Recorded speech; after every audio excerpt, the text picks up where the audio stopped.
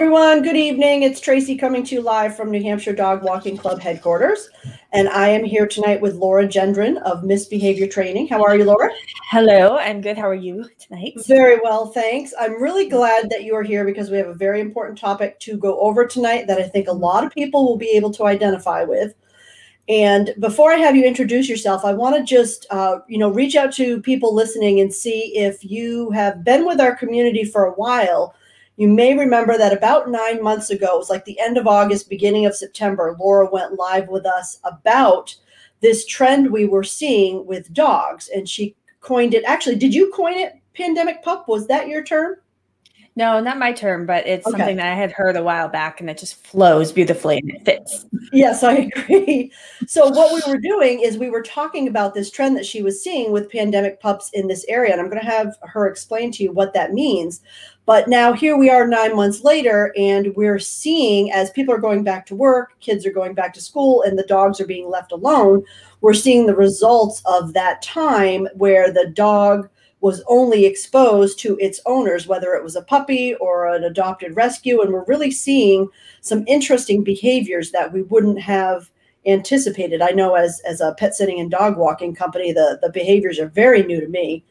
So, you know, Laura, before we get into this, can you just briefly explain what exactly a pandemic pup is?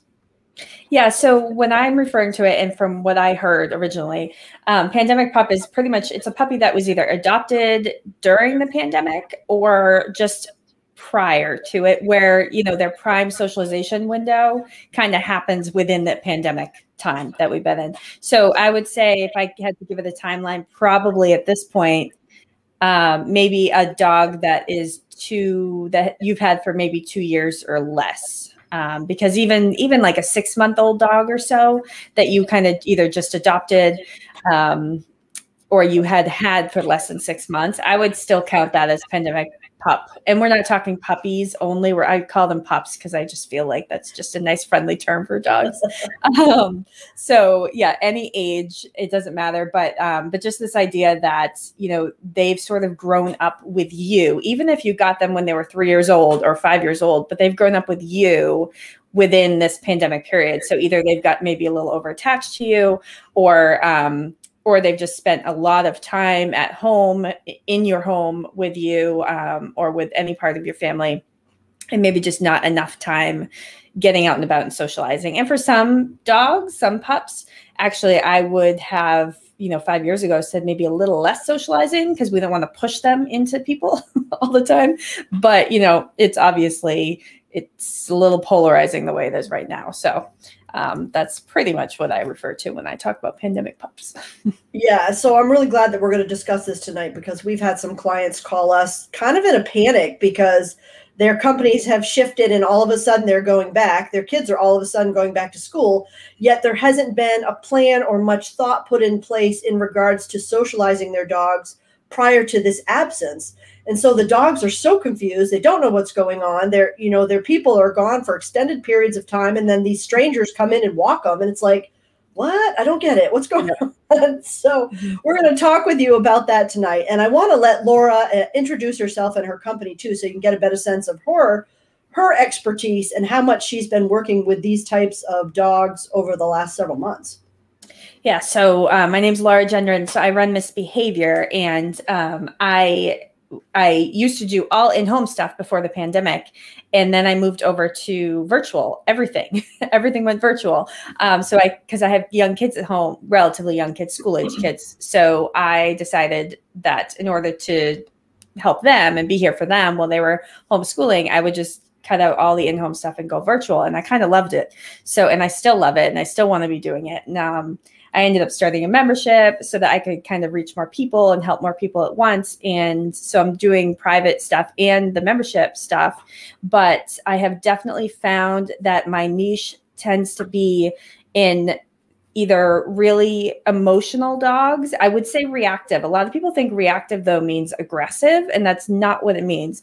Reactive just means dogs who they have a um, they over respond to something in their environment whether it's a trigger you see it as a trigger or a stressor or something that just makes them really excited so when i say reactive i just mean a dog who is very responsive over responsive to something that happens in the environment um, so my niche has definitely mm-hmm. become the more reactive dogs and there are plenty of those unfortunately with the pandemic stuff um, the pandemic pups or or dogs that were really well socialized up until they were like three years old. And even those dogs are struggling and they need some sort of remedial socialization which we're going to talk about tonight. But um but that definitely i've always had a soft spot for the really shy dogs. Um so and I really, you know, I love working with puppies. I love working with manners and all that sort of stuff. And that all comes into play. But there's just something about those really those dogs who have that extra, they need the extra stuff. They need like you to sit down and really kind of make a plan for them and all that. So um, I'm sure that I will be talking plenty about that type of dog tonight too. So. And you know, we want to hear your stories. We don't want you to feel embarrassed if this pertains to you because there's no way we could have known you know what these dogs would experience because uh, i mean most of us have never lived through a pandemic. So uh, you know dog trainers were you know doing research and networking with each other to try to come up with you know tips and resources and educational um, things for uh, their clients so that you could deal with this. But it's not something you should be embarrassed about by any means but we want your questions because we want to hear how you're struggling so laura can help you and then as an incentive, what we want to do is if you ask a question during the live presentation, Laura is giving you a chance to win a, a one month free membership in her virtual canine homeschooler academy. So can you tell us a little bit about what that is, Laura? Yeah, so the academy is my membership. So that is basically it's where I have um, people who come in and and they're dealing with all kinds of different stuff. So they might be dealing with puppies who just need to learn manners. So I have um, manners courses in there, like how to teach your dog to sit, how to teach them to stay, how to teach them to come when called, stuff like that. And over the months, what I've done is we've had challenges every month, and I've turned some of the bigger challenges, the ones that are more common problems, like come when called, um, jumping on people, counter surfing, jumping on the counter to try to get food, uh, leash walking stuff. So every time we've done a challenge, if it's been a common problem, I've actually turned it into a little course. So now the membership also has those mini courses in there, so you can kind of go at your own pace with them. But the great thing, my favorite thing that I found, I've I've had it open since um, October. And my favorite thing that I found is the just the continued support. So like as you're working through some of this stuff, you have that continued support to to help you. And I'm in there maybe a little too often, um, but definitely at least every day answering questions. Um, so people have found that to be I think more helpful than anything else. I think the course stuff is great. I think at this point, you know, um, what I'm seeing with the weather changing and with everybody being able to get out and about is they're kind of like, okay, get me away from the computer. I want to be out in the sunshine now. I want to do my thing. And you can still do that with the membership stuff, with the virtual stuff, but it's like you learn what to do and then you can go work on it. And if you need to rewatch stuff, you can certainly do that. So I'm definitely finding that um, that has been really helpful in the last couple months too, as people have been starting to go out and about. They're like, oh, but I kind of forgot what I was supposed to do, so I can refer back to this. So lots of videos, um, lots of support for you know continuing to work on stuff. And like I said, I'm in there probably too often. And then we do challenges every month. Some people will partake in it every single month, and they're rock stars, and that's awesome. And others kind of pick and choose which challenges they want to do. And I actually just started a second tier to it um, because some people were like, I don't necessarily need the challenges right now, but I just want the support. I want to be able to ask the questions and get get you like you're in my pocket all the time, able to answer them. So I started a second tier to it too, which is a um, just includes basically the the um, Q and A opportunity within the Facebook group and a couple of courses essentially that go along with it. So you can kind of go at your own pace, but then you can um, also get discounts on other stuff going forward if you wanted to add anything on later. So it's kind of, it's changed over the months for sure, um, but only because I'm getting great feedback from members and they're telling me what they want less of or want more of, stuff like that. Awesome. Well, yeah. thank you for giving that away because it's an incentive for people to get out there, ask us your questions. Yes. And I do have a couple comments coming in, um, mm-hmm. Laura, before we start. So Michelle says that she feels like we've made some progress with Brutus before the pandemic, Feeling like we are starting all over, although he's surprising me, still much work to do. Yep. We and Michelle. Yeah, there are a lot of ups and downs, especially with adolescent to young adult dogs. Um, and I'm pretty sure Brutus, I'm trying to remember how old he maybe like two ish, possibly, but um, but there are lots of ups and downs with them. And, you know, and it's a lot of like for every you know, five steps forward, it might be a couple steps back, and then steps forward again, and maybe a couple steps back, and it's ups and downs. But the idea is that as you make good momentum moving forward, that those those downs are gonna you're gonna be able to recover from them much faster. Your dog will be able to recover from them much faster because you're gonna have some stuff in your pocket that you can like you can pull out be like oh my dog knows how to do this so let me apply this and sometimes you need help making a plan for that um, so, you know, you might need to sit down and really focus on that or reach out for help with that. But it's kind of like, okay, well, if I'm out and about with my dog and he barks at somebody who's coming down the street, this is what I'm going to do. So in the moment, you're not like, oh, wait, oh, er, hold on, what was I supposed to do? I'm not sure. Okay, let me do that. You know, you want to have that like that plan. like, okay, if this, then that. So I'm big into the if. I mean, a lot of my members will say that you say that a lot. If this, then that. So, what is your plan if this happens? And you can't plan for everything, but you just do that the best you can, and then your confidence can grow too. So, good advice. And Jamie has a question, and let me know if you're going to be covering mm-hmm. this because we can always come back to it. But she says Cody isn't a pandemic pup, but is weird around new people. After a year of little contact with new people, any suggestions for reintroducing dogs to meeting people out and about and having new people coming into the house again? That's a great question. Yes, yes, that is a great question, and that's why it's one of my four topics that I'm going to be talking about. So All remedial right. socialization. So we we will talk about that, Jamie. So All right. will so we'll that. hold off on questions until we get into it, and then I can flash them up here for you. All right. So the things specifically what we're going to be covering tonight, so that you guys have a sense of what we're going to go over. Uh, Laura is going to teach us how to help your dog cope with new stressors and define those stressors for you how to make up lost socialization time, how to prevent problem behaviors while you work on them, and what to consider if your dog is struggling with home alone time. And I think that's one of the biggest ones right there. So I'm anxious to hear your mm. feedback on that too. So do we do you want to jump in with the presentation yeah. right now? Can, okay, so yeah, let's jump in. Fix what I'm doing here. Okay, presentation or video first? Let's do presentation first. Okay. Um, and then I'll probably do the video halfway through and then make you go back to the presentation again. Perfect. no problem. um, and it's a relatively short one because I figured maybe there'll be a lot of questions. I want to make sure I let leave time for those. So I, I won't overdo it with the slides here on you guys. Okay, so you can go ahead and go to the next one. It just kind of summarizes. Oh wait, that's me, isn't it? That's not you. That's me. you so, so you're doing it. I have the control. Um, okay. So this kind of just summarizes what you said. So um, the things we'll go over. So yeah, the new stressors and triggers that are out there, pre- preventing some problems. And I might have said it a little bit differently than you just said it, but basically preventing more issues. So like, what can you do prevention wise to address um, any new issues that might come up? And ideas for remedial socialization. So that will be good for you, Jamie. Um, that will address your question for sure. And remedial socialization meaning like you know, again, maybe your dog was pretty social or things were going pretty well and something has happened. So it's almost your exact question. Um, and, you know, what can I do to either make up for lost time or what can I do to just be able to move forward and get some good momentum back?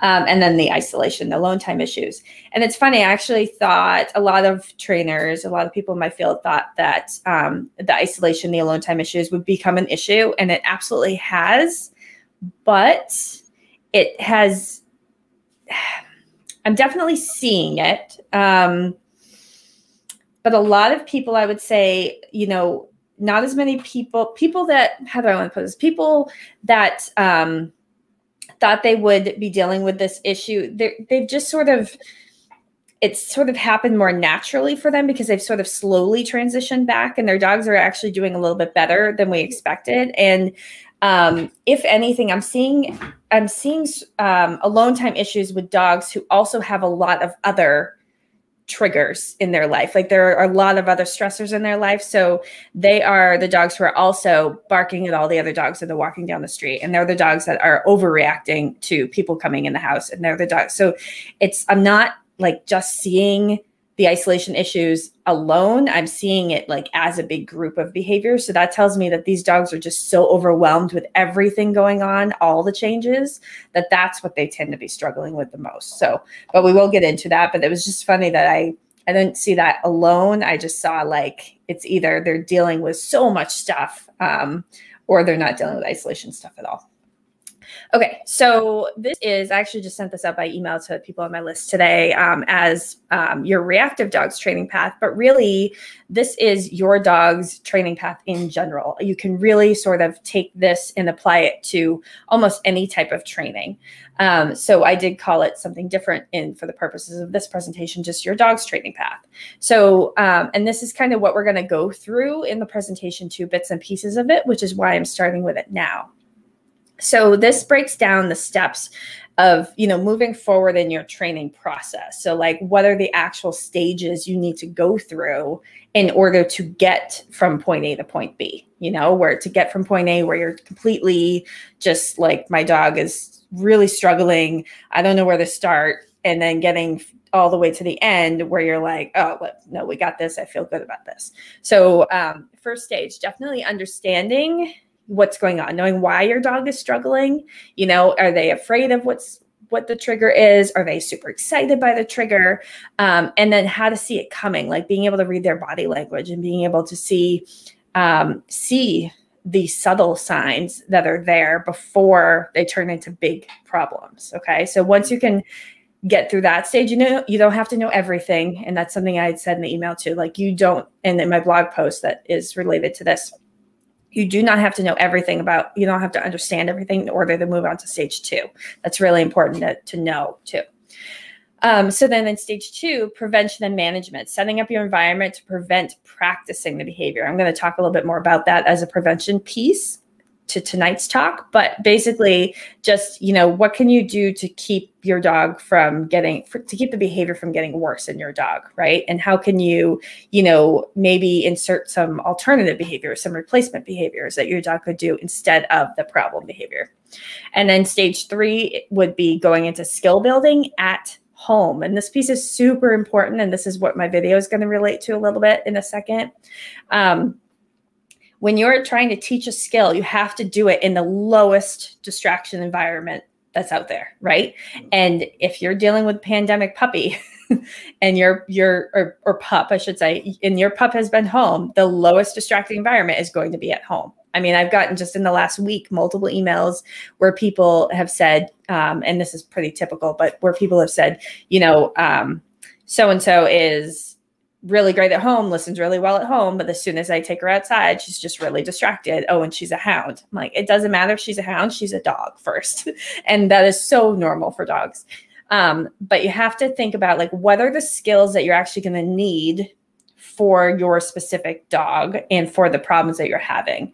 Um, like if you see if you have a dog who's reactive to other dogs and you see a dog on the street and you need to somehow walk by it or you need to at least get away from it um, you're going to maybe maybe need to turn around and go the other way. Does your dog know how to easily and quickly turn around and go the other way happily with you without worrying about what's over their shoulder behind them? Um, you might naturally if you see another dog so let's say same thing dog dog reactivity issue if you see another dog and you are probably going to tighten up on the leash because that's human nature. I will tell you not to. It's still going to happen, right? You're going to tighten up on the leash. You might even hold your breath or you'll breathe a little faster. Or you'll talk a little faster to your dog and you'll get, you'll start throwing out, spitting out words at them and this and that. And if the only time your dog ever feels that tension on the leash or feels you tightening or feels you, knows that you're holding your breath is when there's another dog, that's going to become part of the problem. So you need to work on that at home, you know, being pra- practicing walking around your yard and tightening up the leash, stuff like that. Um, and teaching them that it means something different. It doesn't mean that you need to like be like, "Ooh, who's out there? There's someone out there," you know. So then stage four would be quiet outdoor practice. So you want to practice the skills in quiet outdoor spaces in your local area. This one people skip a lot because they don't really know where to go or what to do. And I definitely have been there, even recently with this particular dog, Willow, that you see there um, in the picture. Um, she is a reactive dog to other dogs. Um, I can't always trust her with other dogs, and she has gotten a lot better but um, I have had to go out of my way to look for quiet spaces. And I'm actually going to give you guys some ideas um, in a few minutes of maybe where you could go um, or what types of places you could look into. And then controlled outdoor distraction would be the next stage after that. So this is separate than the quiet outdoor practice, right? So now controlled outdoor distractions, you could get into small groups. Um, you could plan little field trips with your friends, stuff like that, where they have dogs, or maybe they don't. If it's not a dog dog issue, maybe it's just people, but you have a nice controlled setting. And the hardest part for people is they're like, well, yeah, I can take my dog out for a walk, but I can't control the person that's walking down the street and that's so true. You can't. Um, even with, again, with Willow, I've had to think, and I have lots of dog trainer friends, right? And I've had to think, I'm like, hmm, which of my dog trainer friends have dogs that would be appropriate to practice with? I'm not really sure. So it's not easy, um, which is actually why I love the dog walking club because you've got like an awesome resource right there to be able to, you know, reach out to people and create little groups.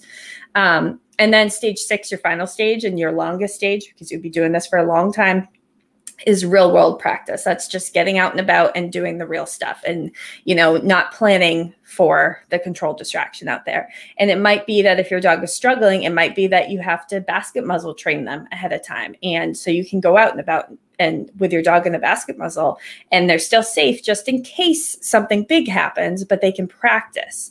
Um, I had um, lots of instances recently where I've taken Willow out in her basket muzzle um, just to be able to get her out and about and see that, like, oh, she can actually handle this environment way better than I thought she could.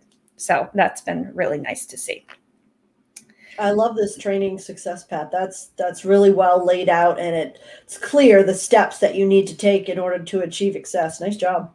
Yeah, thank you. I actually just made it yesterday because it. I was like, you know what? This is told. This is every time I coach people. This is exactly the process that I take them through. So why don't I just lay it out in a visual way so that Makes everybody sense. else can understand what what it is that I go through with people? Because you could you could do this on your own at home, or you know you can certainly um, reach out to a trainer and get help. But you can kind of go through that process. Um, and it's nice to just kind of know what's ahead of you, like what's the next step going to be. Yeah. Um, Okay, so then this is just a nice little graphic of just some of the more common triggers and stressors that people are dealing with now with the post pandemic stuff, you know, like or stuff that they haven't really had to see or deal with too much in the last year or so. Okay. Um, and I'm not going to go through every single one. You guys are probably can tell what most of these are, but you know, just a few of them to point out people coming to the door, ringing the doorbell, knocking on the door. Okay. That probably wasn't happening very often. I know if I got food delivered, they would just leave it on the front steps. Mm. Sometimes I would tell them to just leave it on the front steps and they would still knock. but, um, but for the most part, like delivery people, they weren't we weren't opening our doors for them very much anymore. We're kind of just letting them do their thing, right? So that's that's been a big thing. Obviously, you see the home alone dog up there. I put in some um, spring or summer like distractions because it's been a year, right? Like it's been a while. It was a long winter. Um, so fireworks are big stressors people are de- uh, dogs are dealing with right now. People too, maybe um, squirrels, chipmunks, stuff like that. Springtime stuff, um, thunderstorms and those are those are triggers that get stacked on top of all these other stressors too. You don't might not think about them separately but they all get stacked up. So like tomorrow i know we're supposed to get some storms. So now if we get these storms if your dog gets a little stressed about that but also some of these other things happen that's called trigger stacking. They might have a harder mm. day even the next day. Um, people riding bikes you know again we're seeing that more often. People out with their dogs kids um, vet appointments. You weren't going into the vet very often. Now you might be going in more often, um, hopefully. And so you might be seeing that your dog is more or less stressed than you expected them to be. Um, barbecues, crowds, grandma reaching out. like, yeah, I love that one. Trying to what, pinch the cheeks and yeah. kiss the dog. um, kids hovering, like sports games. I've seen. I my kids are playing soccer now, and I've seen a lot of people bringing their puppies and their young dogs to the soccer games. For the most part, I haven't seen too many issues, but there definitely have been some dogs where you can tell that they just they want nothing to do with that. Um, so that's something to consider. The dog in the kennel is just, you know, people starting to go on vacation. Where are they taking their dogs? They're either hiring you, Traci, for pet sitting, or they are sending them to kennels and they haven't been to a kennel you know, this entire pandemic. So right. maybe ever if they're young. So that's all stuff to think about. So these are common triggers just in general, no matter what pandemic, no pandemic, doesn't matter. But these are things that we really haven't been exposing our dogs to within the pandemic time. Okay. So these are, that's why I picked these ones. Um, and some dogs, like I got a dog yesterday. Um, somebody contacted me because her dog just doesn't want to walk. Um, so that that's a, actually a really common one too, for whatever reason. Um, either they weren't taking them out for very walks, the cars there weren't as many cars, it wasn't as busy, people weren't out and about as much. Who knows why? But um, but that's been a pretty common one too. Mm. So I think I'm trying to remember what my next slide is. Yeah, let's do the video next. Um, okay. That'll sort of break it up for you guys a little bit too. So let me pause it for one sec. I'll give you guys the backstory. So this is Miles. Miles is a boxer, um, and Miles, uh, his owner came to me. I've done all, all virtual with Miles up to this point, um, and his owner came to me because he was he didn't want to walk on the street. He would be fine in the yard up to a certain point. The front yard he would struggle with. He'd only go about halfway up the driveway. Um, relatively quiet street. He'd be great in the backyard and as they reported, they said that he would go for walks um, out beyond, like not on the street. He would go for um, trail walks, basically. And he seemed to be really excited on the way out, like really happy to go on the way out. But on the way back, he would panic and he would just want to get back to the car as fast as possible. So this is um, four, four or five, I think five different clips of different um, sessions. This this first one is going to be a walk that they took him on, and I'm going to point out a little bit of body language stuff. So this is on his way out on a walk when they had said that they thought like he's really excited, he's really into um, into his walk, and so he hasn't even turned around yet in this part of the walk. Okay, so let me play that. Okay, I want you guys look at his tail right here. Okay, so this is where again, owner said he's excited, he's happy. His tail says otherwise. Okay, and then the other thing I'm going to point out is, and you might not be able to see because it's a quick clip, but he's very hyper vigilant. He is looking around like what's out there, what's gonna, you know, what's gonna pop out. Something, something could happen. So he looks like he's doing some nice leash walking. He looks like he's just hanging out with the owners. You know, doing exactly what we expect him to do. But from my perspective, what I'm seeing is a dog who's fearful, a dog who's hypervigilant, a dog who's tiptoeing because he doesn't want to get too far away from his owners because something might pop out at him. Okay. So this is a dog who we had to say, no more trail walks right now. Okay. We have to go back to the house. You have to go back to where he's the most comfortable and we have to get him feeling better at home first. Okay. So let me play this a little bit more here. Okay, so then this is their first session. And again, what am I going to point out here? I'm going to point out his low tail. So what I'm having him do in this session is just walk around the backyard and just practice what's what I refer to as Disney World walking. It's just basically getting good things happen on your left side. Good things happen here. Okay, so the treats are happening. The the happy talk is happening, which I muted this video um, just for privacy purposes. But um, and the idea was here, just walk around your backyard because they said he's very comfortable in the backyard. So I said, okay, so let's start there. That's where he's the most comfortable outside, right? We actually started in the house and then we took it to the backyard. Um, and then this is the video that they sent me because that's what I have people do when I do the private coaching is we do lots of videos back and forth. So, which is beautiful because then I can see stuff like this that otherwise they might not have been able to tell me Okay, so see that really low tail? He's looking up at her, but his tail is low. So I said the first, your first job, our first job is to get that tail up. I want to see that tail up. Okay, this was one of the next sessions. See how nice and high that tail is now? Oh yeah. But he's he's still kind of just like he's walking around, he's doing this thing. Okay, so I said speed up your walking. Make it peppy. Let's get some pep in his step. And then this is the next session. Okay, so I had her just speed up. Now she's in the front yard. This is where he gets very stressed out normally. And there, I'm going to go back a little bit. I guess I went too fast with these videos here. So this is the driveway here. Um, he normally won't go, wouldn't go that far up the driveway. He'd kind of stay by like maybe the brick walkway back towards the house. So this is much further in the driveway. So what I'm doing is I'm just having her move around the yard, but putting some pep in her steps so that he gets bouncy and excited. I'm looking for that bounce. I want that boxer bounce. You know, boxers are meant to be leggy and bouncy and just goofy dogs. And I wasn't seeing any of that goofiness out of him. And I knew that he had it because I saw it in the house when we were doing some virtual stuff in there.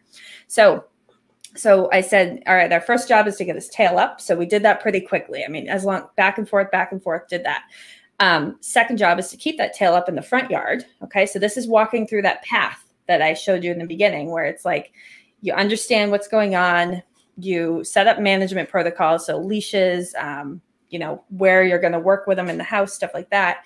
And then you're going to work inside the house and in the backyard where he's comfortable. And then you're going to be moving to the more um, the places that are a bit more of a struggle, which the front yard was still a struggle. So that's why we worked there.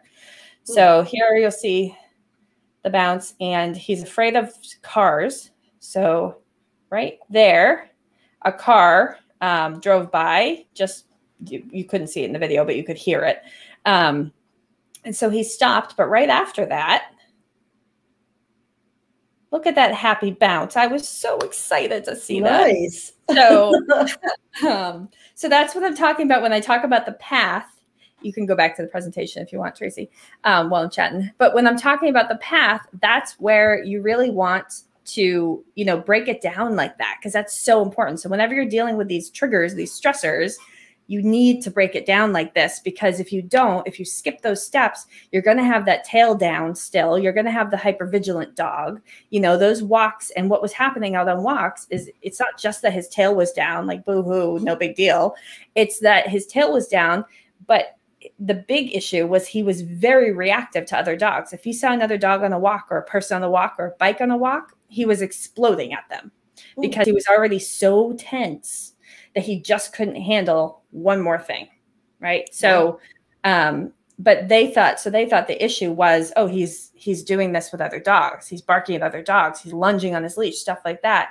But i said we have to back this up a little bit. We have to address the underlying emotion before we can really address the other stuff. So um so we are probably i would say between stages three and four at this point with him um, so pretty soon we're going to be doing some more controlled stuff um, out and about with him. So Laura, how long has it taken you to get from stage one to stage four through those videos and the practice with those folks?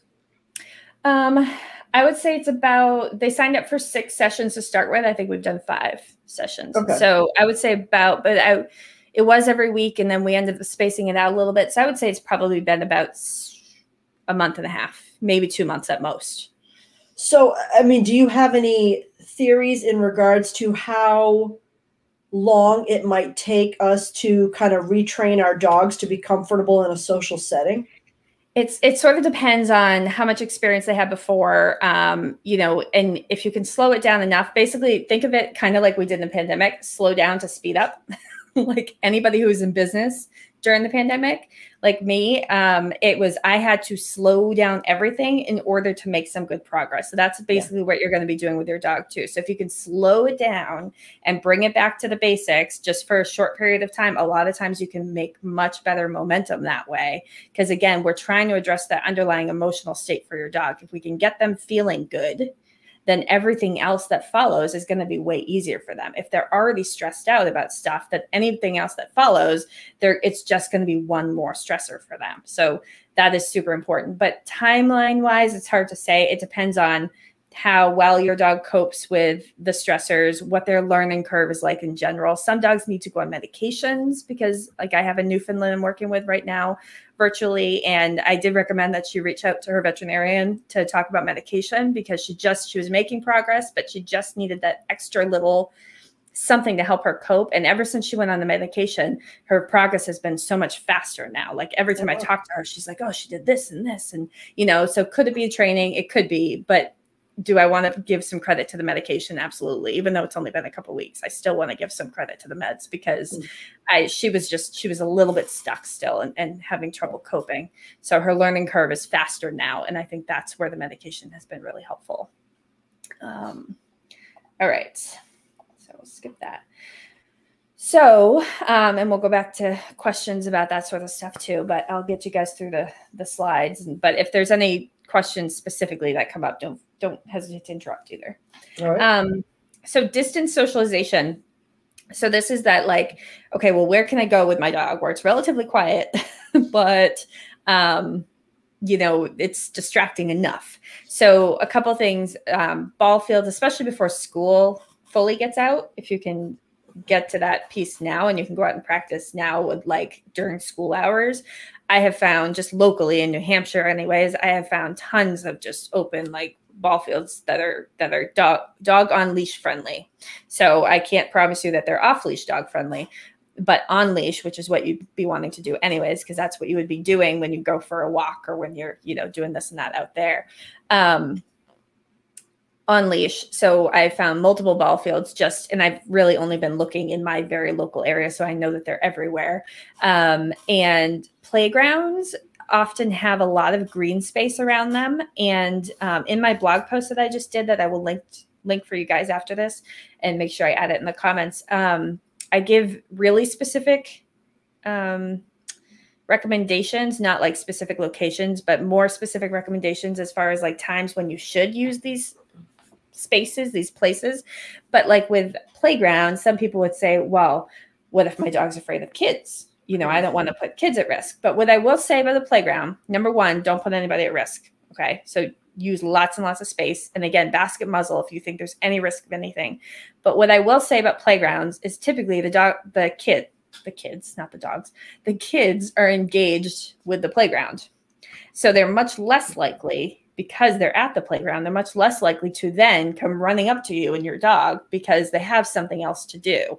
Um, as opposed to just like an open park area where there might not be that much going on and they see a dog. They're like, oh, a dog's over there. I have to go say hi. And they go rogue and they just run away from their parents and go running up to you. Right. So, um, but that's where you have to be a little bit more hyper vigilant and just be aware of who is where. And, you know, it, that kid keeps running off randomly. Maybe I should stay away from that particular kid, stuff like that. So, but obviously safety first.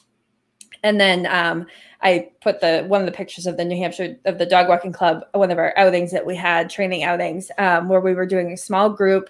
It was very controlled. Um, if these were all reactive dogs, I would have said lots more space in between everybody, please. But um, but in this case, they weren't reactive dogs. We were just working on recall stuff. But it was just nice um, example of it. Um, some other things, you know, like there's a lot of 5Ks going on right now. You know that there are going to be a lot of people around. Often there's a lot of open space in those areas too. If your dog is ready for that type of situation, that can be another place where you know you're going to see people at a distance. Um, parking lots, Home Depot, Lowe's type parking lots, stuff like that, because those are nice big parking lots. You know people are going to get out of their car, they're going to go into the store. They're going to come out of the store. They're going to go back to their car. um, so you know you can kind of control what the people are going to do. So places yeah. like that are also very good. So um, certainly, you know, you can post any ideas that you have, but I find that those tend to be my my few go to places. Um, also, dog parks, but outside. Let me make this very clear: outside the dog park. Okay, not in the dog park, but usually there's a lot of green space also outside the dog park so you know that there are going to be dogs in the park. So if your dog has issues with other dogs and you want to get some practice, if your dog is ready for it and you're at a good enough distance, a lot of times that's a nice way to do it too, because they can be practicing looking at the other dogs and not reacting to them. Okay. Um, all right. So those are some ideas for that. All right. So then prevention replacement behaviors. Um, so if you're going to prevent behaviors from happening, the best way to do that is to have replacement behaviors for them you know so like instead of doing this do that um, so if you if your dog is one who let me give you one of the better examples here um, uh, begging for food, or even I did use this example in there, but like if you say you have a dog, in the case of reactive dogs, say you have a dog who barks at the window because somebody's out there, right? And here I put it for the begging for food one. You could teach them to go to bed go to their place instead. And if their go to place or go to bed behavior is really strong, you can have them do that for happy rewards instead of barking at the thing that's out the window, right? Um, so a lot of prevention stuff can be accomplished through replacement behavior. So this is just a very simple relatively simple list, um, but of just examples of replacement behaviors that you can teach your dog. So instead of that, why don't you do this? And then you can reinforce the behavior that you do want much more often and get some good reinforcement history in there. And then they're going to be less likely to do the other stuff. So by preventing, by replacing the behaviors, you are preventing those behaviors from getting worse and worse and worse because they've been practicing them and practicing them because practice does make perfect. They will get better if they continue to practice. And it also can become very self reinforcing behavior. So think of like the classic mailman or UPS syndrome that dogs have, where the mailman comes, drops off the package, dog barks like crazy, mailman goes away, in case you haven't heard of this. And all of a sudden the dog's like, woo, I did that. um, you know, little did they know that Memo was going to go away anyways. So what if you got them to go to their bed or you got them to do nice hand targeting or something like that instead of barking at the mailman and the mailman still goes away? That would be like magic to them, right? They'd be like, "Oh, I did that too, but I did it in a different way." So, um, so it's just sort of replacing again, replacing these behaviors and just making it so, okay, well, what behavior would I like to see instead? So having a plan for that is very important. Um, all right. So I will get into, I'm just going to go through some basic do's and don'ts of separation anxiety and isolation stuff. And then if people have questions about them, um, that might be a good place for me to answer them. These are the last couple of slides too. So separation anxiety is a huge thing. I mean, separation anxiety is basically, it's a panic it's a panic attack it's anxiety attack. So um, it is very distressful for everybody dogs and the people involved. And there are a lot of misconceptions out there about separation anxiety. So this is just kind of a basic list of do's and don'ts but there's a lot more that goes into it as well. Okay? So if you think you're actually if your dog actually has separation anxiety you have to work whether you want to or not if you think it's true separation anxiety, there's so much intricacy. Is that a word? That sounds like a word. There's so, yeah, okay. I questioned it for a second. There's so many little details that go into it. And there's so much science that if you truly think your dog has separation anxiety, I really encourage you to reach out to somebody. There are separation anxiety certified trainers. They're called CSATs, C S A T um, certified separation anxiety trainers is basically what it stands for. And um, they focus on just that but definitely reach out. I mean i do lots of separation anxiety too but i'm not necessarily certified in it. Um, but the people who are certified they're up they know all the new science and all that. So um, I definitely encourage you to reach out to somebody, even if it's your veterinarian, if you think that this is the case. Okay. But if you're thinking it's just like my dog has some isolation stuff, you know, you could kind of start to play around with it in that case. Okay. Um, and I do also, I am running a challenge right now in my membership on isolation issues and separation skills. And that will become a course after that. So if that's something that you do want to work on and you're not overly concerned about it, um, that might be something to think about too because it's definitely a good virtual type thing to work on. Mm. Um, all right, so do start with short absences and build up, staying below the stress threshold. The biggest mistake people make is they say, like, okay, I'm going to work on it this weekend. And then Monday, though, I have to go to work. And then all of a sudden, their dog gets really stressed out again because they've been gone for more than two minutes and now you've sort of undone all of your hard work. So the most important thing, and this is one of the top skills that you learn when you do work with true separation anxiety, is you have to work below that stress threshold. And unfortunately, the number one thing people don't want to hear, but I have to say it, unfortunately, you cannot leave your dog alone for any period of time when they would be stressed out. So if that's two minutes, if that's one hour, if that's three hours, it doesn't matter. If you get your dog to that point where they become stressed and they have that panic attack, you've just undone all of your work. So that means you have to have a great community around you. Um, you have to have a support system. You have to have people who are willing to hang out with your dog for a little while. Um, it's amazing how creative people can get, especially now we've been through the pandemic with, you know, like working from home for a little while or trading off with people or, you know, hiring a dog walker to come and literally just hang out with the dog. Maybe not even walk the dog, but just hang out with the dog. Um, yeah. stuff like that. So you do have to have a village around you, which is super important. And for your own stress, because it's very stressful to deal with, but also for your dog's stress. Um, do provide ex- exercise and enrichment through chew toys, training, and treat toys. So exercise is not the cure for separation anxiety. It actually will not affect it all that much if it's true anxiety, but you still do want to make sure your dog is exercised and the mind is enriched enough um, to at least make sure that that's not the problem that's going on. Um, do use a trusted pet sitter, daycare, family friend when you're away so you don't undo all your hard work, like I said. And then do talk to your veterinarian, professional training for dog struggles with being left alone, which is what I preached about in the very beginning there. So I went backwards. Um, and don't don't. It's it's sometimes advice that does not want to be heard, but it's very important. Um, don't scold or punish your dog for anything he did while you were gone. He was having a panic attack. So if you come home to a ripped up couch or blinds that are torn down or a hole in your floor, unfortunately, if it was true separation anxiety, they were just having a panic attack. And anything you do or say, if you actually add more stress to the situation, it could actually make the make the issue worse because now they're stressed about you coming home too. Um, so you have to be very careful about that. Don't increase your dog's fear by using any tools that would be scary or painful.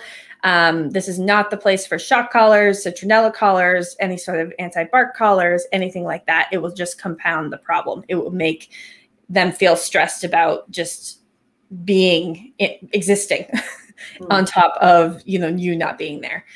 Um, don't leave your dog in the crate if he hasn't already learned to love his crate when you're home. This is another big misconception. People think like my dog has separation anxiety, he has to be in the crate. Some dogs do 100 times better when they're just left free in the house and you just make sure that everything is secure and you have a camera to keep an eye on them. Okay, cameras are huge too.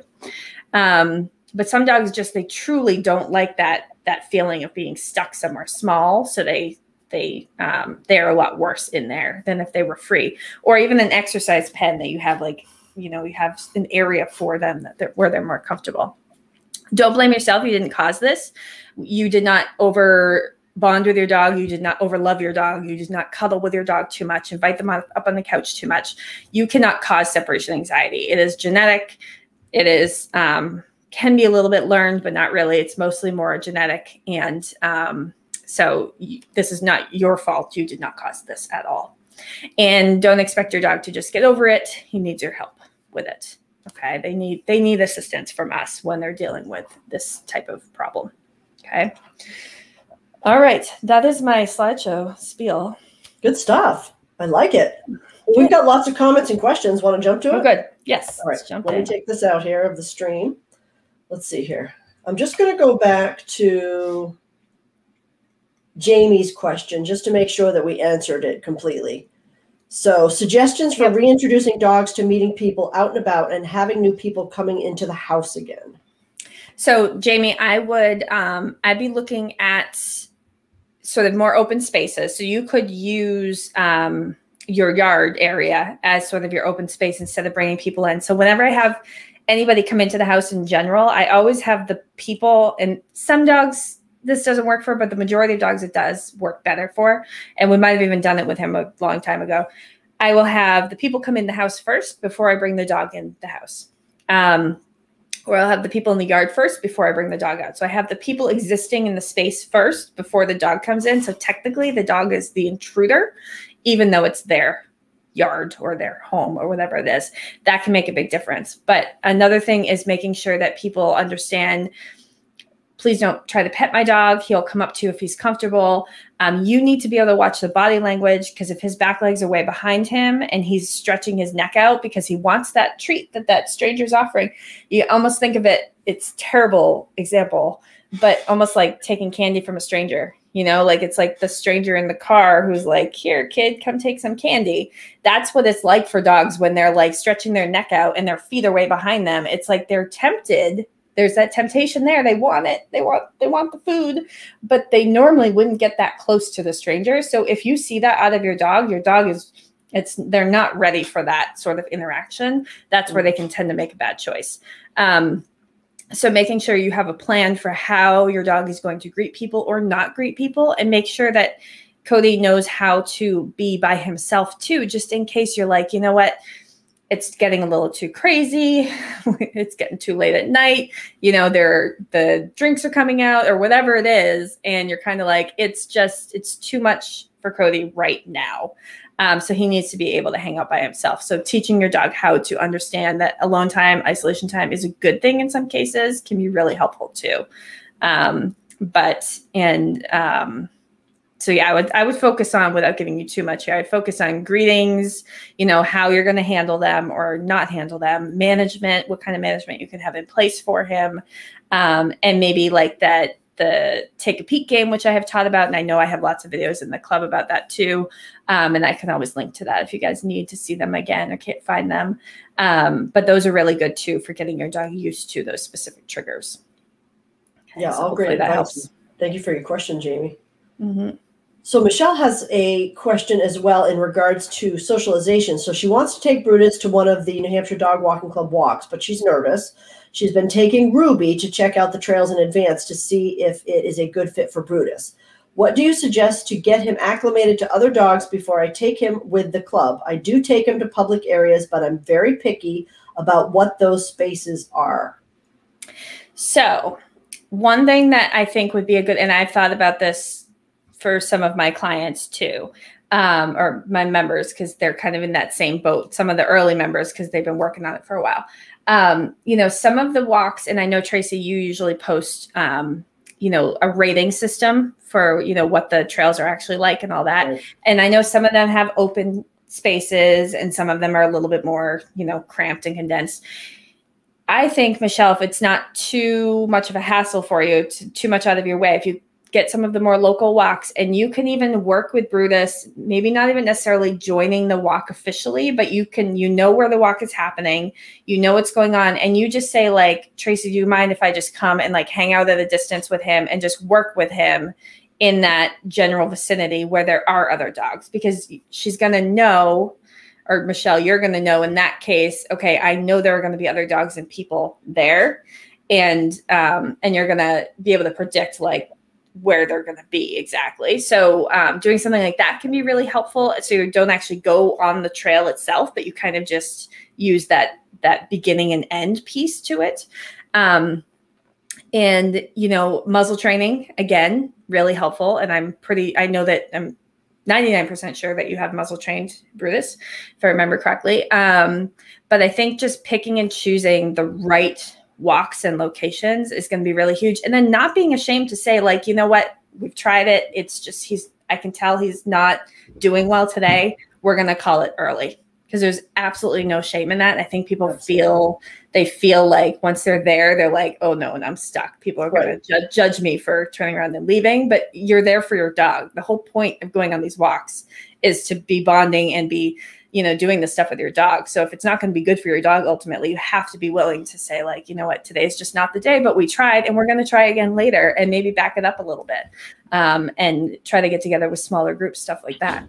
Um, I know, like in my membership now, we're starting to do some local field trips. And my idea for the field trips is to take the stuff that people have learned to do at home and now take um, some of the people, like three to four dogs, and we go to these different locations and we work on just on leash dog see dog stuff. So there's no interaction between the dogs whatsoever. They're at a distance. I only pick and choose places that have enough space.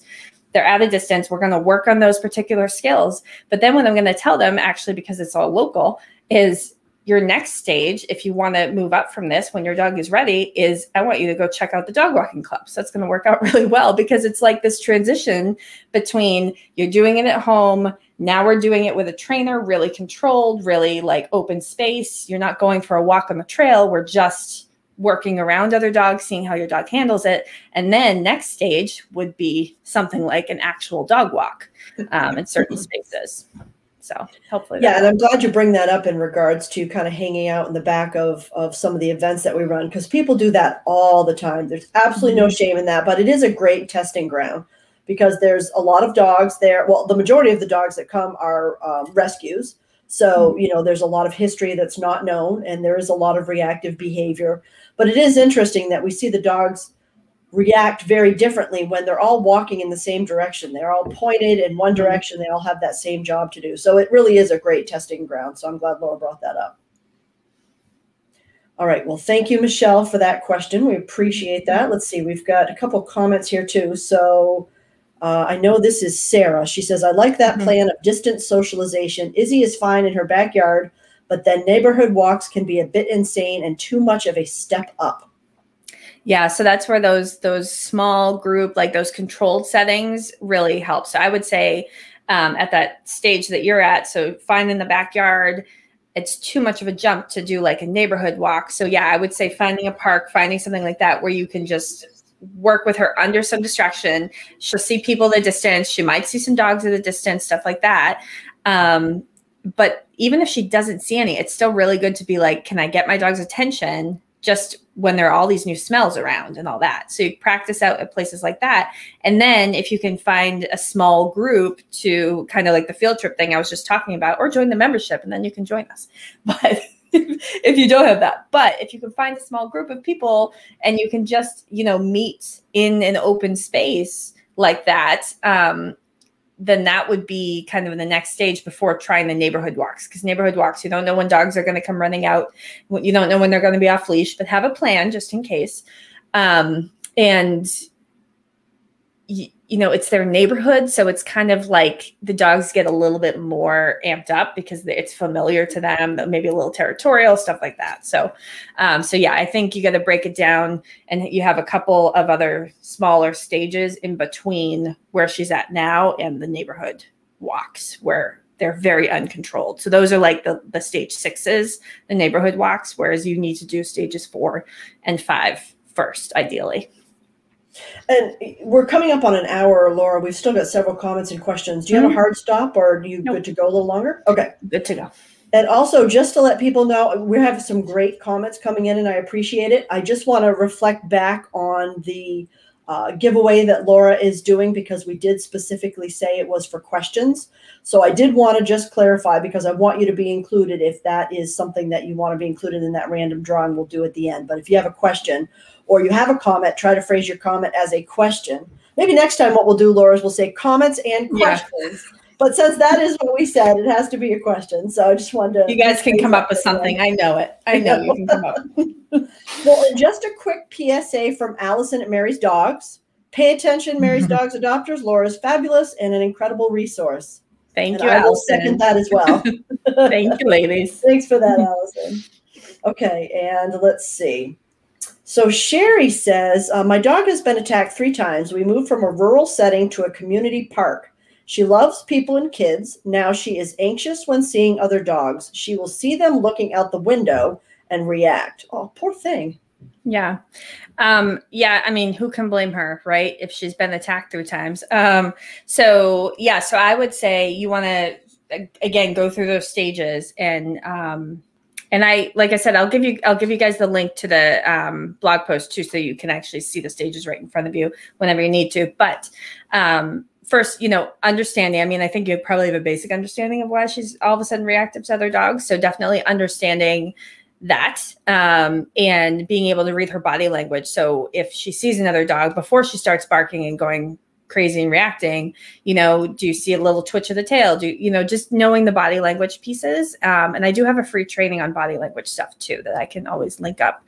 Um, it's kind of basic. It's like one body language 101 but it might be a place to start lip licking yawning stuff like that things people don't know about um, and then, you know, preventing the barking at the window. So if she sees another dog and she's barking at the window, are there things that you can be doing to prevent her from being able to get to the window at those times, whether it's a leash, whether it's blocking the window in some way, removing the couch that could be right in front of it that's giving her easy access to it.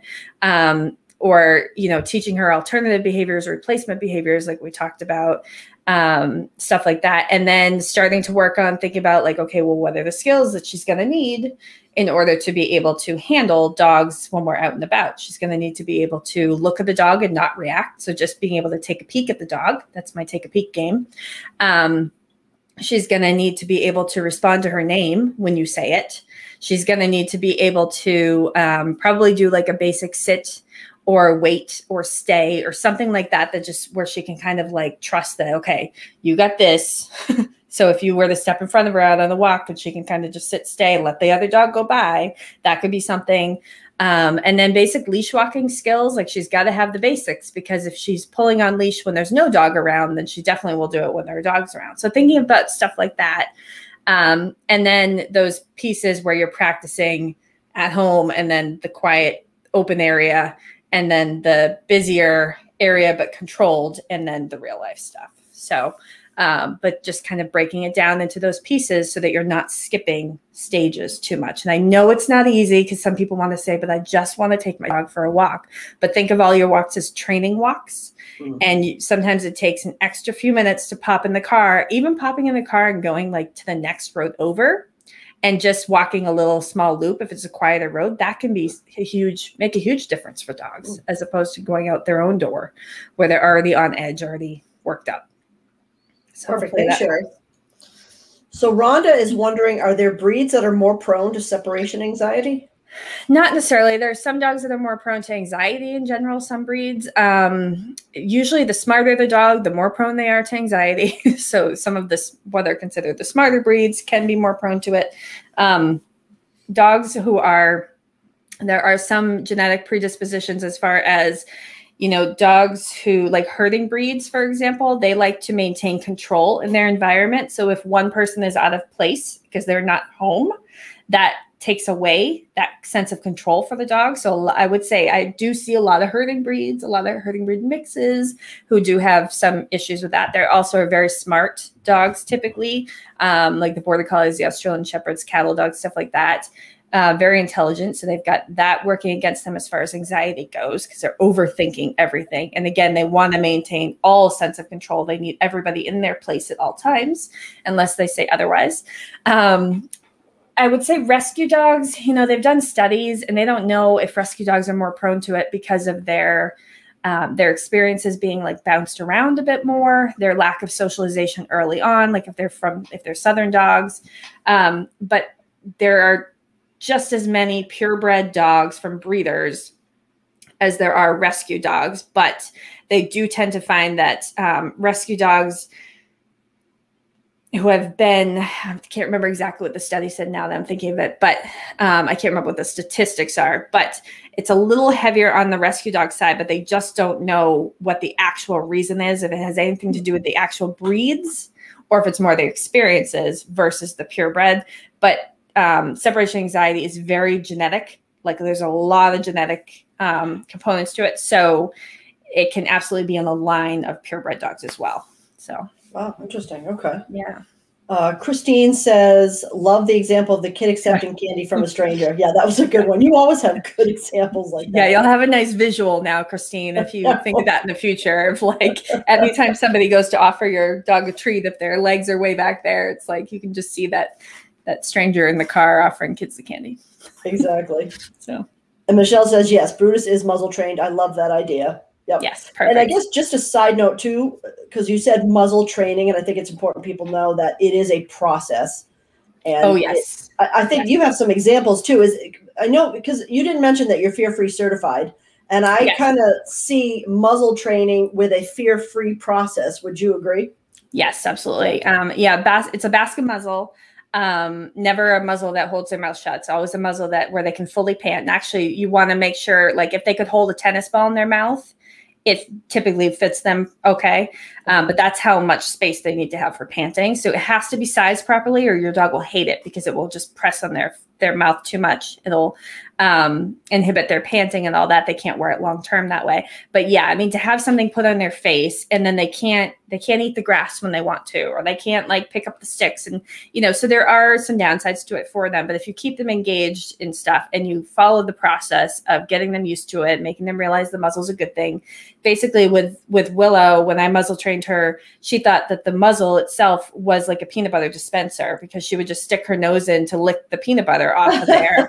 um, and she was pretty sure it was just like an open bowl of peanut butter for a long time. So, um, and so there are, you know, dogs aren't stupid. They get it. They understand that it's limiting to them. But if you make it as positive as you possibly can and you keep them pretty busy during it you know take them on walks in the muzzle and you make it a regular thing. So it's not just oh you have to have the muzzle on only when there's going to be another dog and then the other dog stresses them out and all of a sudden there's stressors everywhere. Um, or you know you take them to the vet and the vet's the one that puts the muzzle on. That's the worst in my opinion because number one it's not sized to them and number two they're already really stressed out about being at the vet's office whether you know they seem happy or not. I can tell you from working inside a vet's office they're almost always stressed to some degree. Um, and so to then have to get a muzzle on them at that point. So muzzle train. I mean, every dog really should be muzzle trained, in my opinion, but it's a hard sell.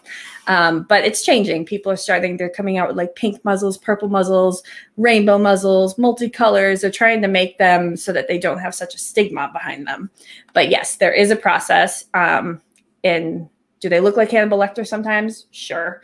Um, but you got to see past the muzzle and see that if your dog is muzzle trained well, I mean, they have so much more freedom to be able to go out and about in all these different places because you can feel more confident about having some sense of um, control if somebody makes a mistake. Usually it's the human that makes the mistake, but um, the dog is the one with the teeth. So we have to, you know, unfortunately, they have to be the ones who are muzzled. Um, we can't do too much to the people. So yeah. That's a conversation for another day. Yes, I could go. I could go up for the whole thing about that one. yep. All right. So uh, Sarah says, "How would you approach aggression towards workers coming in the house, like a plumber?" Izzy gets really protective. This is probably a really big question. Yeah, I'm sure a lot of people yeah. struggle with that. Yeah, it's a big question, but it it kind of similar to like the stages I was talking about before, where you know, um, why is she aggressing towards the workers in the house? Is it um, something that they're wearing? Is it the way that they come in with a presence? Is it um, their smell?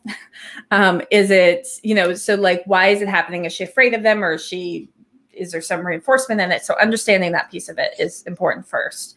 Um, again, you don't have to understand it 100%, but you have to just have some basic understanding and being able to know her body language. But then next stage management. So again making and i know izzy struggles with some alone time stuff in general but um, this is a time when if a worker's coming in the house ideally the dog should just be crated or in a room hanging out or with you hanging out or kept busy somewhere else or sent to a friend's house or something like that just depending on the type of work that's being done. Because to to have them deal with the worker when the worker's trying to do the job and they're not there to see the dog. And a lot of them do actually love dogs, but they don't love dogs in the way that we need them to love dogs in the moment. Um, so honestly, I usually say with workers coming in the house, management is the absolute best piece of it because they can't necessarily work with you in that case. They're there, they do a job, and it's usually a pretty temporary job. So setting up some good management protocol is usually the best way to deal with workers specifically. So hopefully that helps. But certainly, you know, if you find that, like, reach out again if you find that it's something that you know happens on a regular basis to the point where just management isn't going to quite cut it and then we could kind of go through the stages that way but i would i would say to make your life easier i'd focus more on the management and prevention piece of it Chris wants to know uh, my dog is eating the stairs and bored every time that she's alone. To decrease the anxiety, oh wait, every time that she's alone. To decrease the anxiety, another dog can help? Question mark. I think you turned it into a question. Good job. um, yes. um, I would not get another dog just to help with that. um, I think it's too risky. I think it's too because typically with separation anxiety, they are over attached to one or two beings in the house. It could be people, could be dogs. Getting another dog may or may not help, uh, but then you've got to you have another dog, which if then if you have multiple dogs, you have more than it's I that's a whole spiel too. It's like when you have two dogs, you really have three dogs because you have the individual dogs and you have the compound dog and and so on and so on with the numbers. But um the main thing to think of is it may not help. There's a really good chance it won't help actually. Um, and if that dog has to go somewhere at some point, has to go to the vet's office, or something happens to the dog, or you know, for whatever reason, the dog has to be separated from your dog, you're right back to square one again. or if the dogs don't get along for some reason. So there's just so many risks. I wouldn't necessarily go out and get another dog just for that reason. Could you try fostering a dog? Maybe. You could see how that goes. Um, but keeping in mind that usually when you're fostering a dog, you want to foster them until they're adopted. So you're not fostering just to try them out usually.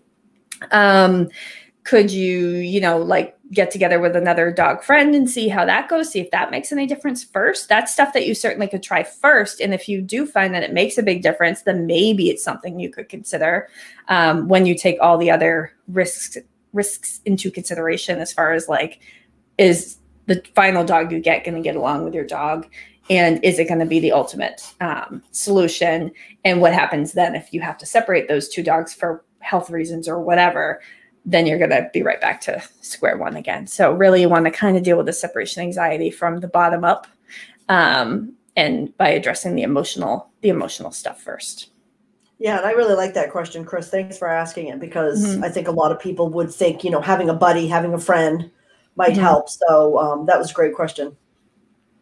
Uh, let's see. I think this is Tracy Tuttle. Let me know if you think. Um, it says, Hi, Laura. Do you think a long line in the backyard would help with Echo? Uh, he barks at dogs walking by. He's out alone, and I go out when he barks, but it takes a while for me to get him to come to me. And Tracy, if this is you, please comment. It's just not letting us see your name because you haven't given StreamYard permission for us to see you, and I want to enter you in the drawing. So just uh, comment if it is you. Yeah, um, I absolutely think a long line would help because you need a way to be able to follow through on the barking. So if the if he's ignoring you, if he's blowing you off when he's barking because he's like, ah, I'm busy doing this, um, then yeah, you definitely need a way to be able to follow through. And you know, so if you call him to come to you, um, and he doesn't, then you can go over and you can get the long line. The long line could be 30 feet, 40 feet, 50 feet, just depending on your yard and setup and all that. Um, and then you can follow through that way. And you could even reel him in halfway and then ask him again to come to you. And if he does, then you have a chance to reinforce that actually, which is hard for people because they're kind of like, wait, but he didn't really listen, but reinforce it. And what you're going to find is he's like, oh, maybe it is worth it. Um, and he'll start coming more often that way. Even if in the moment you were kind of like oh but i had to go out and get you you know um, and then from there when there are not any other dogs around that's where you really are practicing those skills that you're going to need um, to be able to do it around other dogs. And again i go back to like my take a peek game and getting him used to okay well are there other things i should be doing when i see a dog? instead of barking at them to try to make them go away um, there definitely are some other skills that you could be building on in the meantime when there are no other dogs right there so that you're not trying to do all of that hard stuff all at once. Yeah, th- thanks, Tracy, for asking that question. I know Tracy was at our recall training earlier this month at Livingston Park in Manchester, and, and you were working with her and Echo as well. So mm-hmm. it's important that she's got there. Okay, so Nancy asks, uh, would it help to have a person toss a cookie to your pup rather than try to give them a treat by hand if your dog is showing the candy from a stranger stance? That's sticking with people, Laura. I love sticking. that. love it. Um, yeah, so I play a game called Treat Retreat, and it's not a game I invented. It's a game that's been out there for a little while. Um, and Treat Retreat is basically you have the person take a cookie and you toss it, they toss it past the dog. And then what'll happen is the dog will move away from that person to go get the treat.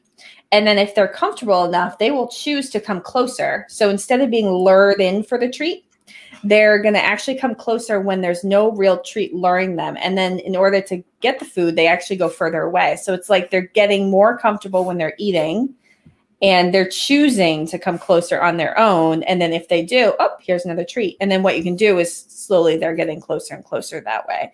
So that's one of my favorite games to play. Um, with dogs. And then, you know, once they get to the point where their feet are like parallel with each other, their back legs and their front legs are parallel with each other, and they're taking the treat from the person, the dogs are telling me they're a bit more comfortable that way. The reason why I don't have people lure them in and I don't want people treating dogs when their back legs are like way behind them and they're ready to run is because the dogs are in a state of conflict. Like, oh, I, again, just like the candy from the stranger, I want that food, but I wouldn't normally get that close to you. And then what happens, they're in that state of conflict and then the food's gone and maybe that person makes a quick move and then the dog makes a poor choice to bite or to even run away.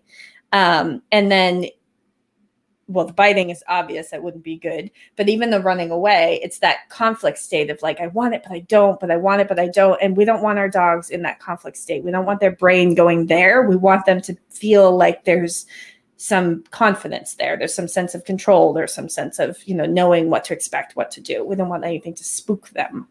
So um, that's, yeah, that's what I would do is I would do the treat retreat. So tossing the treat and then the dog probably will come in again because they'll be like, hmm, are you going to toss me another one? And then they toss it again, but the, they get the food from behind them. So they go further away. Great. Thanks, Nancy, for your question. Let's see. Donna says, This has been very helpful. Thanks, Donna, for the comment. Appreciate it. So let's see. We've got two more questions and then you want to call it a night or you want to sure. go? Yeah. We're going on a marathon here. These are great questions. I know. I these it. are, I love it.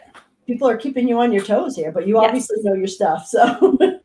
All right. So Sherry is asking, I'm new to knowing about your training. Do you have training videos? Traci, do I have training videos? You have so many training videos, and you have some really awesome. Oh no, wait, you have all awesome training videos, especially the ones. Well, you've got the stuff in your membership. See, I'm going to mm-hmm. sell your membership right here, but you also have all the amazing ones that you have done for the club over the last several years. So. Mm-hmm uh, Sherry, I know she'll tell you about the awesome one she has in her membership, but also if you're in our community, um, which I'll throw up our URL at the uh, end here if you're not, um, go to the media section of the New Hampshire Dog Walking Club community, and you'll see all the great stuff that Laura has shared with us as well over the years. Yep. Um, yes. So I have so many training videos. If you could see my YouTube site unlisted, all the stuff in the back end, it would be overwhelming. So in the in the membership, um, I have it organized for you so that yes, there's training videos on all kinds of manners, all kinds of behavior problems. Um, there's, I mean, I take videos of everything and then I turn it into video. So I have rarely had somebody ask me if I have a video and I don't have it. And if I don't have it, I'm usually like, oh, there's a gap. I have to make one. And I usually will make it make it pretty quickly. So um, so yes, I have tons of training videos um, in my membership, but they are I have a virtual library. So there's the the two tiers of the membership. One is the you're all in Canine Homeschooler Academy. You get the challenges, you get um, discounts, you get the virtual library, you get um, courses for problem behaviors. You get a course that's all about understanding your dog. So like understanding some of the science, not in a sciency way, but just like in a way that makes it possible to understand. Um, so that's all in the main academy and more that I'm probably forgetting. But then in the lower tier of it, it's you get access to the whole virtual library and the manners course and the private Facebook group um, and 20% discount on any add-on stuff that you want to do. So just sort of depending on what you're working on, how involved you want to get, um, and how much you like challenges. I feel like if you like challenges, if you like having like little tasks to follow along the way, then I would go all into the regular academy. Um, but if you kind of are more of like a DIY person, it's funny. I actually made a graphic of my um, my lower tier is my Chihuahua people, and then my higher tier, my Border Collies, because the Chihuahuas are like a little bit more independent. They like to they like to go at their own pace. They like to do it on their own time. Um, and then the Border Collies are like super social. I have to be fully in control. I have to have access to everything at all times. um, and that's kind of how I think of it when I separate the two. So definitely let me know what you're looking for, and then I can direct you. Um, but yes, to answer your question in a shorter version, yes, I have lots of training videos. well, and also Kathy wants to know yeah. a little bit more about your membership too. So maybe either tonight or tomorrow, can you do a post in the community with a little bit mm-hmm. more information on your membership? Because don't you have some kind of deadline that's coming up? Or yes. Something? So tomorrow, um, so right now, until tomorrow through through the end of tomorrow um, you can join the lower tier of the membership for just $20 a month um, and it will normally it's 27 so i took $7 off just to make it even 20 $20 for the month um, and that's the lower tier that's the the virtual library, the private Facebook group, and the manners course, and then the 20% off any other add on stuff you want to do. So if you decide you want to do like a challenge here and there, that would be good for that. Um, and then field trips, you do have to be at a certain stage in the membership to be invited on the field trips because I want to make sure that your dog's ready and you're ready and you're set up for success. But um, field trips are something you could add on if you wanted to. If you're in the full membership, um, that's all set up right now. You can join at any point. Um, so if you go to my website, missbehaviortraining.com, and you go slash homeschooler, um, that's where you can see directly all the membership info, or just go to my website and, right and, click on it either way. Um, but yeah, all the info is in there. There we go. Yeah. So that's Perfect. the right URL for you guys yeah. if you want to learn more about her training. And like I said, she'll post in the community as well. She'll give you more information there. And if you're not a member of our community yet, you can feel free to check us out at nhdog.club and you can join our free Facebook community because Laura is the featured expert this month. And she's been sharing all kinds of good stuff so you can learn more about her. And like I said, check out the media section, check out the guide section. There's a lot of things that she has already been sharing over the years in addition to just this month. Mm-hmm. All right. So, Laura, we have one last question, and that does actually come from Kathy. So, let me throw this one up here. See, our Grace was never reactive and is now with other dogs out on a walk. She had all the basic commands, but now pulls on a walk. She is fine with my daughter's dog and puppies. Do you have a suggestion for which muzzle is the best? I saw a mesh one on Amazon that appears to have the peanut butter space. Also, would love to know more about the take a peek. Okay. So the muzzle question. So the mesh muzzles typically are the ones that will hold their mouth closed. So there might be an exception to that, but mesh is not going to be very protective if the dogs try to bite. So I would go with either the Baskerville Ultra muzzle. Um, however, I will say that that is not completely bite proof. There have been studies, or not studies, but I guess there have been um, incidents or anecdotal evidence out there recently that says like it is possible for dogs to bite when they're wearing that. I have yet to see it. I think it would take a very aggressive dog, a dog who's really, you know, really into it, really high drive, um, for it to happen. So, and they're they're um, it's a hard rubber like a silicone, but it's definitely it's my go-to muzzle for most dogs. Um, the fit is what matters the most. So there is a um, website called the Muzzle Up Project dot com i think. I think it's just muzzleupproject.com but or you could just look up muzzle up project and they have a nice list of all kinds of different muzzles and um, they have a facebook group that's associated with it too that will help you actually size your muzzle and i can add a link afterwards um, to the actual facebook group. There's another one too that will do the same thing and you can literally like post the size of your dog's nose when they have a ball in there like an open mouth um, and stuff like that and they will give you recommendations but the baskerville tends to be my go-to there's also like jafco muzzles um, I'm blanking on some of them right now because the Baskerville is my go-to, but um, but I'll get you the website and all that. And the main thing though is you want a basket muzzle. You don't want one that holds your mouth closed because they need to be able to pant fully. They should be able to drink water. Um, technically, they should be able to hold a ball in their mouth, but not within the muzzle. Don't actually do that with the muzzle on. um, and but that's how that's how much space that they should have. Okay, so there is a lot. And then the Muzzle Up Project too has some great training videos on muzzle stuff. I do have some, but that is one that I have directed to the Muzzle Up Project. It's done such an awesome job with it that I just said like, you know what, that's probably one series of videos I don't necessarily need right now. But that's the only one. well, wonderful questions, you guys. Thank you very much. We're going to go actually here to um, the wheel of names and pick from all the great questions that were asked by so many people on who's going to win the free month of homes for the homeschooler academy but if you don't get picked here is the url so that you can go and check it out from laura and as she mentioned the uh, new tier that she offered uh, that she just established which is $20 a month does end tomorrow. So make sure you go check that out if that is something that you are interested in doing kind of that more independent study. So, any last thoughts, Laura, before we go to the wheel of names? I don't think so. I think we covered a lot. I don't want to Okay. overwhelm people too much. I mean, I can, you know me, I can talk about training forever. So, but it's almost my bedtime, so I'll, I'll, I'll cool it. I, know we're a little old, so. Uh, Yeah, yeah. All right. Well, thank you everybody again, and thank Yes, you Laura so much for spending almost ninety minutes with us of, of great, great information. So um, these are all the people that asked questions throughout the uh, the conversation, and so we're going to spin now, and this is the person who's going to get that one month free membership in the Homeschooler Academy with Laura. Dun, dun, dun. And it's going to be Rhonda G. Rhonda, congratulations. Rhonda. Yes. So I will get you all set up with that. Um, Traci will get me your info um, pretty easily, and then I will reach out and I will get you set up to get you started.